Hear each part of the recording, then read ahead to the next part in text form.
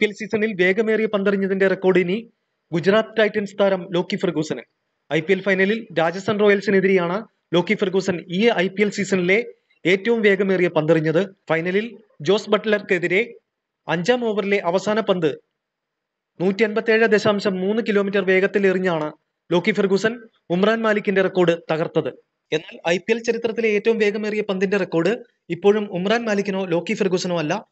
രണ്ടായിരത്തി പന്ത്രണ്ട് I P എല്ലിൽ രാജസ്ഥാൻ റോയൽസ് താരമായിരുന്ന ഷോൺ ടൈറ്റ് നൂറ്റി അൻപത്തേഴ് ദശാംശം ഏഴ് ഒന്ന് കിലോമീറ്റർ വേഗതയിൽ എറിഞ്ഞ പന്താണ് ഐ പി എൽ ചരിത്രത്തിലെ ഏറ്റവും വേഗമേറിയ പന്ത്.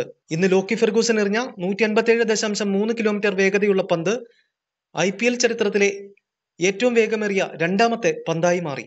വേഗതയിൽ ഉമ്രാൻ മാലിക് മൂന്നാം സ്ഥാനത്ത് നിൽക്കുമ്പോൾ നൂറ്റൻപത്തി ആറ് ദശാംശം രണ്ട് രണ്ട് കിലോമീറ്റർ വേഗതയിൽ എറിഞ്ഞ ഡൽഹി ക്യാപിറ്റൽസ് താരം ആൻഡ്രി നോർച്ചയാണ് നാലാം സ്ഥാനത്തുള്ളത്. ഡൽഹിക്കെതിരെ തന്നെ നൂറ്റി അൻപത്തഞ്ച് ദശാംശം ആറ് പൂജ്യം കിലോമീറ്റർ വേഗതയിൽ എറിഞ്ഞ ഉമ്രാന്റെ പന്ത് തന്നെയാണ് അഞ്ചാം സ്ഥാനത്തുള്ളത്.